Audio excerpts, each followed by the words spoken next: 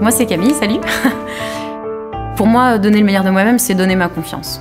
Je peux pas faire beaucoup de choses moi-même toute seule en, tant qu'individu.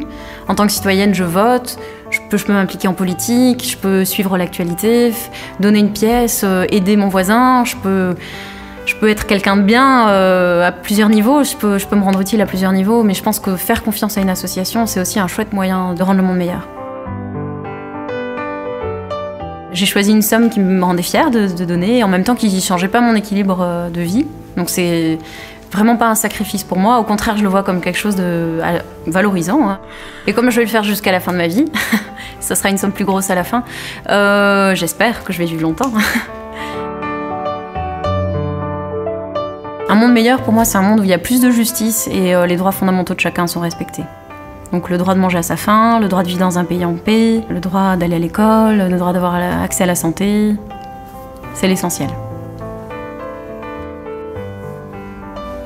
L'amour?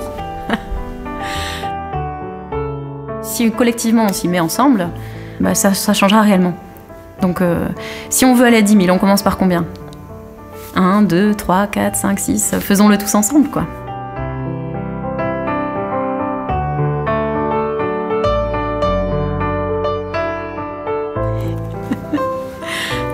Je donne de l'argent pour mon